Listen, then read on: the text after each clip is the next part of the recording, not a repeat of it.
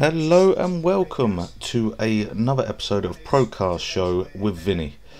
Now, I am recording this because unfortunately my microphone wasn't plugged in, so I'm watching the video and doing a recording, so please don't judge. So, today we're going to be reviewing the 2014 Renault Zoe.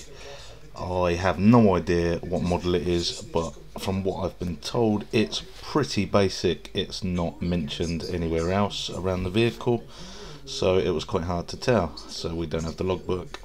Ain't got a clue. So getting started. Uh, I hope we can answer all of your questions regarding the Renault Zoe. Now, as you can see me dancing around on screen here, the front of the Zoe has got mighty big. It's a rather large Goffing front end and it's got a very low situated number plate which could be pretty terrible in regards to uh, high curbs.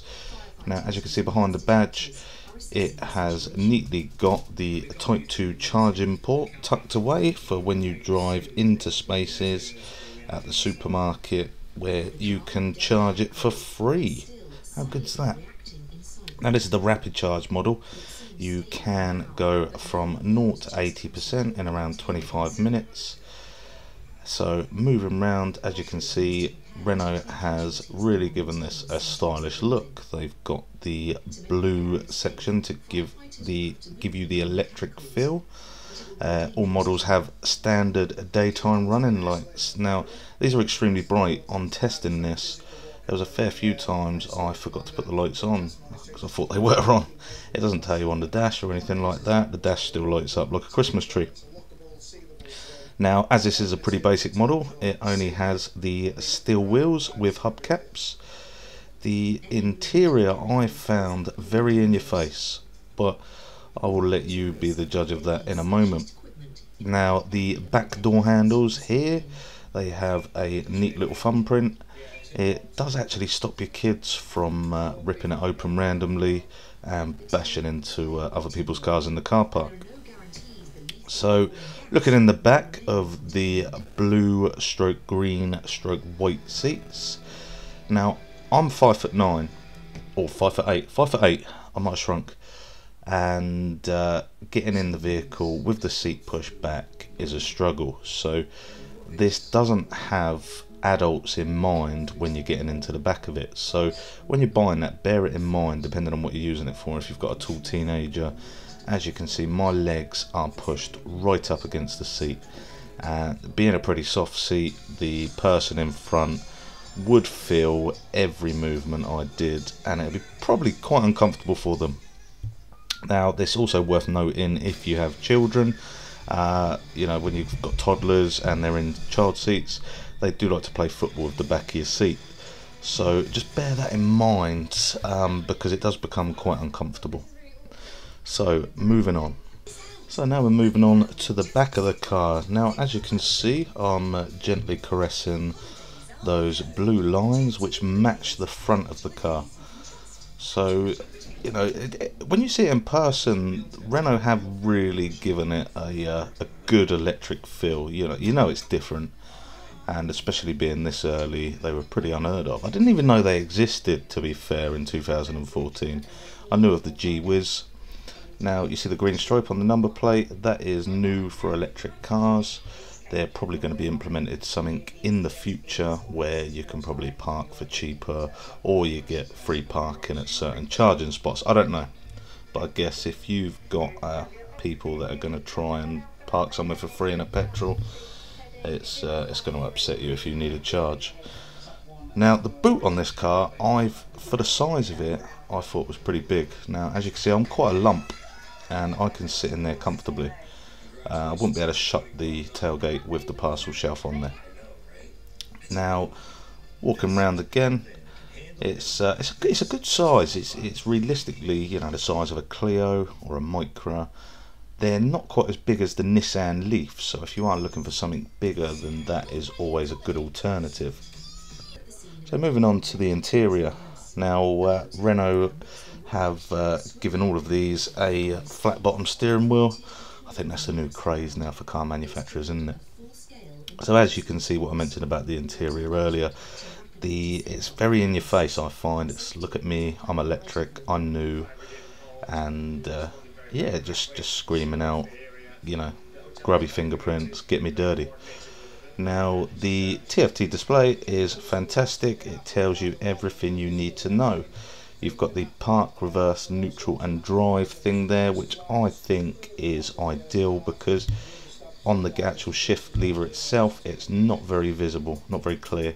So I found myself a couple of times going into neutral and thinking, hey, what's going on? Now, uh, traditional to all Renault models, it's got the uh, display information on the windscreen wiper stalk and you can click through and get all of your information. Now instead of miles per gallon you get miles per kilowatt so it tells you everything you need to know, how economical your driving is which is really handy. So uh, we'll go over to the display for the stereo. Uh, it's got a built-in TomTom sat nav which does need an SD card to work. So if you're going out to buy one check it's got the SD card otherwise you won't have navigation. Now it does tell you your driving score on there and gives you all of the information on how to improve your economy. Now moving on to the glove box I actually found this quite disappointing. It wasn't actually broken but it felt very cheap and wobbly which for a car that's only done 33,000 miles I was quite disappointed. But again, you know, that could have been just this model, but there didn't appear to be anything that was broken. So on here, I'm showing you the drive green information system.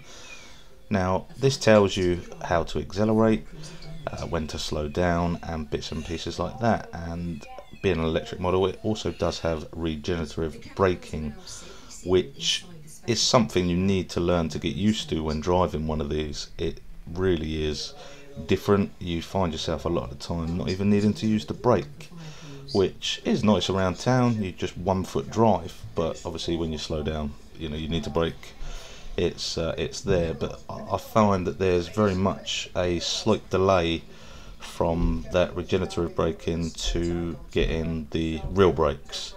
And if you test drive a, an earlier model. I haven't yet driven one of the newer models, but if you do test drive the earlier model, you will probably find the same thing and come back and say, Vinny, do you know what? You were right. Now, onto the switch panel where I'm pointing to there, you've got the charger release socket, you've got the dash uh, illumination, the headlight aim, and that other little button is actually a speaker. And when you're driving along you do get a, uh, a very it's almost like uh, when you see like horror films and you see people coming out of the bushes and it's got just got that horror horror film sound to it and again it's another thing I'd always advise keeping it on because when it's not on it's absolutely silent. And that can be quite dangerous when people are crossing the road they just can't hear you coming. So moving on to the back of the car. Again, we uh, I was explaining about the uh, the soft seats here, and again having toddlers that want to play football with it when they're sat there, and uh, you know for for a vehicle that is capable of seating five people, again you've only got three cup holders. It's not very uh, very good for for any kind of journey you know, but they're not built for that. They are built, you know, purely for town driving, probably around Paris, the likes of that. That's probably what it was thought of. But you can do a long journey on them. I've managed to do Kent in this one, and Kent and back, which was 150 miles. Uh, I had to stop three times to top up the battery. So, moving on. Now, if you're anything like me, I was curious to see what was under the bonnet. Was it going to be like the Tesla where they've got another storage point or like the old Beetle? But no, was I wrong? Look, it is pure motor everywhere. You've got the standard battery which is for the ancillaries and stuff, I believe, but I'm not an auto electrician, so I couldn't tell you too much what it was about. You can see the water reservoir there, which is for your heating, and the other bits and pieces there, which don't mean a great deal to me, if I'm honest. Now, moving on to the battery lease. Now, this is the bit that everybody likes to know. Now, depending on what you're doing and things like that, the battery lease is a real cheap alternative to owning an electric car. So, on this model, for 10,000 miles per annum, because it is used by a car buying service for them to drive around town to pay for vehicles and drop their staff at the vehicles to drive them back. Uh, it's part of their pledge to going green, and if you'd like to visit them, uh, they're called Car Buying Solutions. I'll put a link in the description below. So, the battery lease, I couldn't find a great deal about this on YouTube.